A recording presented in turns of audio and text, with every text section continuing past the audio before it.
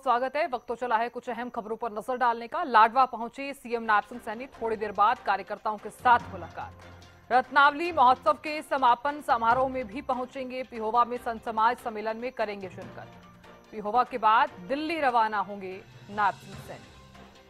तो बड़ी खबर आपको बता रहे हैं, पिहोवा के बाद दिल्ली रवाना होंगे नायब सिंह सैनी। लाडवा पहुँचे सीएम नायब सिंह सैनी। थोड़ी देर बाद कार्यकर्ताओं के साथ मुलाकात। रत्नावली महोत्सव के समापन समारोह में भी पहुँचेंगे। तो बड़ी खबर, तमाम दर्शकों तक हम पहुँचा रहे हैं। तो लाडवा पहुँचे सीएम नायब सिंह सैनी। तो थोड़ी देर बाद कार्यकर्ताओं के साथ मुलाकात होगी। और आज जिस तरह से रत्नावली महोत्सव के समापन समारोह में भी पहुँचेंगे, क्योंकि आखिरी दिन है, संत समाज सम्मेलन में भी शिरकत करेंगे। तो पिहोवा में संत समाज सम्मेलन में शिरकत करेंगे, पिहोवा के बाद दिल्ली रवाना हो जाएँगे नायब सिंह सैनी। तो अब से कुछ ही देर में कार्यकर्ताओं के साथ मुलाकात होगी। और खबर पर ज़्यादा जानकारी के साथ कुरुक्षेत्र से हमारे संवाददाता गगन जुड़ गए हैं। गगन, नायब सिंह सैनी कुरुक्षेत्र में पहुँचे हैं। लाडवा पहुँचे हैं नायब सिंह सैनी। क्या जानकारी कार्यकर्ताओं के साथ? मुलाकात करते हुए नज़र आएँगे।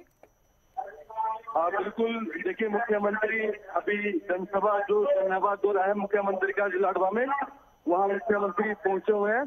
और लगातार जो है, उनके कार्यकर्ताओं की भीड़ साफ़ तौर पर देखने को मिल रही है। अलग ही उत्साह देखने को मिल रहा है। जिस तरीके से मुख्यमंत्री का कहना है कि जिस तरीके से लाडवा की जनता ने उन्हें भारी मतों से जिताया है और इस तरीके का विकास जो है, लाडवा विधानसभा में किया जाएगा। चाहे लाडवा विधानसभा बाईपास की बात की जाए, उन्होंने जिस तरीके से कहा कि पिहोवा से लेकर हरिद्वार तक एक फोर लाइन जो हाईवे का, हाईवे की मंजूरी जो है केंद्र सरकार की से जो मिल चुकी है, उसका बहुत बहुत धन्यवाद करते हैं मुख्यमंत्री केंद्र सरकार का। और अभी कुछ ही दिनों के बाद जो है कार्य शुरू हो जाएगा।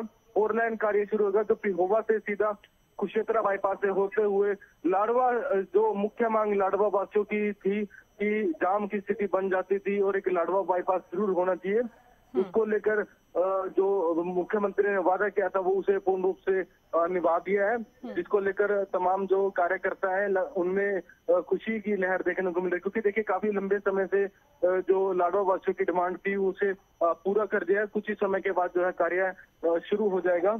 और देखिए बात की जाए तो अभी कुछ ही देर के बाद मुख्यमंत्री यूनिवर्सिटी कुछ कुरुक्षेत्र विश्वविद्यालय में जो राज्य स्तरीय रत्नावली का कार्यक्रम है वहाँ पर जो मुख्यमंत्री पहुँचेंगे फिर उसके बाद उत्तर प्रदेश के मुख्यमंत्री मुख्यमंत्री योगी आदित्यनाथ योगी आदित्यनाथ आज संत सम्मेलन में जो पहुँच रहे हैं तो अभी कुछ ही देर के अभी कुछ ही देर के बाद जो है मुख्यमंत्री यहाँ से रवाना होंगे पिहोवा के लिए। बिल्कुल। गगन आज रत्नावली महोत्सव का भी आखिरी दिन है और संत समाज सम्मेलन में भी नायब सिंह सैनी शिरकत करने वाले हैं।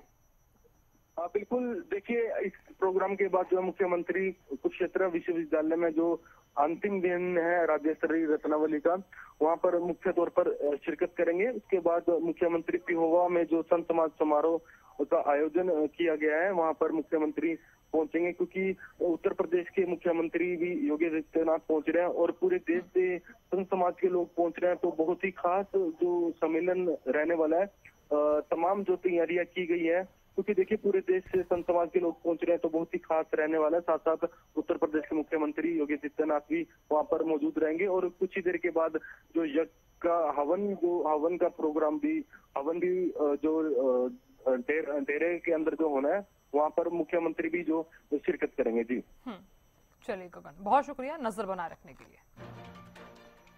तो पिहोवा के बाद दिल्ली रवाना होंगे नायब सिंह सैनी और देखिए कुरुक्षेत्र के लाडवा पहुँचे हैं नायब सिंह सैनी और अब से कुछ ही देर बाद कार्यकर्ताओं के साथ मुलाकात होगी।